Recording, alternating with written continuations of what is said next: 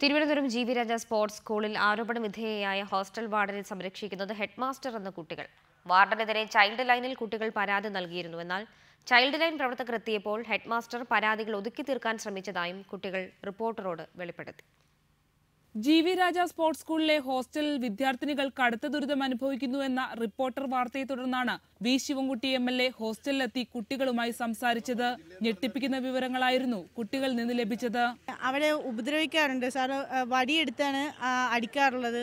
പിന്നെ waste food items അവരെ കൊണ്ട് കഴിപ്പിക്കാറുണ്ട്. ഒരു ദിവസം ഞങ്ങൾ അങ്ങോട്ട് മിസ് കോൾ അടിക്കുന്നതിന് നാല് രൂപ വെച്ച് ചിലപ്പോൾ അതിൽ കൂടുതൽ ഞങ്ങളെ നിന്ന് പൈസ വെട്ടി കുറയ്ക്കാറുണ്ട് മിസ്സിന്റെ റൂമിൽ ഫാനുണ്ട് ഞങ്ങളുടെ റൂമിൽ ഫാനില്ല ഞങ്ങൾ കൊതുകടി കൊണ്ട് പല ദിവസവും ഉറങ്ങാതെ വന്നിട്ട് സ്കൂളിൽ നിന്നാണ്ട് ഉറങ്ങിയിട്ടുണ്ട്. ഹോസ്റ്റൽ വാർഡനെതിരെ ചൈൽഡ് ലൈനിലടക്കം പരാതി നൽകിയിട്ടും ഹെഡ് മാസ്റ്റർ യാതൊരുവിധ നടപടിയും കൈക്കൊണ്ടില്ല. ചൈൽഡ് ലൈൻ പ്രവർത്തകർ എത്തിയപ്പോൾ പരാതികൾ ഒതുക്കി തീർക്കാൻ ശ്രമിച്ചതായും കുട്ടികൾ ആരോപിക്കുന്നു. ഞാനും പിന്നെ സ്കൂൾസിലെ കുട്ടികളും വേറെ കുട്ടികളെല്ലാം കുറേ കുട്ടികളുണ്ടായിരുന്നു. ഞങ്ങളെല്ലാം കൂടെ പറഞ്ഞത്. അപ്പം അവർ പറഞ്ഞു നാളെ ഞങ്ങൾ വന്നിട്ട് അന്വേഷിക്കാമെന്ന് പറഞ്ഞു. അപ്പം ഞങ്ങൾ എച്ച് എം ഞങ്ങളോട് പറഞ്ഞു നിങ്ങളിത് വേറെ ആരോടും പറയണ്ട.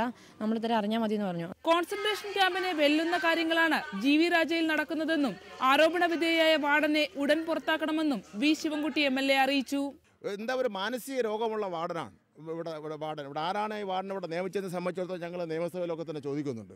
ക്രൂരമായ പീഡനങ്ങളുടെ കഥയാണ് ജി വി രാജയിൽ നിന്ന് പുറത്തു വന്നുകൊണ്ടിരിക്കുന്നത്. ഇനിയും അധികൃതർ കുറ്റക്കാർക്കെതിരെ നടപടിയെടുത്തില്ലെങ്കിൽ അത് ഗുരുതരമായ മനുഷ്യാവകാശ ലംഘനം തന്നെയായിരിക്കും. ജീവരാജ സ്കൂളിൽ നിന്നും ശരണ്യ സ്നേഹജൻ റിപ്പോർട്ടർ തിരുവനന്തപുരം.